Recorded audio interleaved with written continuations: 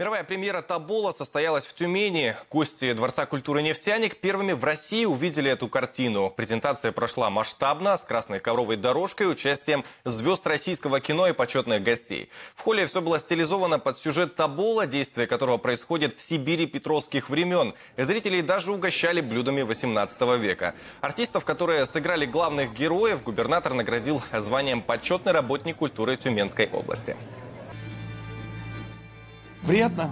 Вот, замечательно. То есть это очень такое пристальное внимание и очень приятно, что сочли своим, как это, своим долгом как-то э, наградить. После окончания показа зрители несколько минут стоя аплодировали артистам и всей съемочной группе.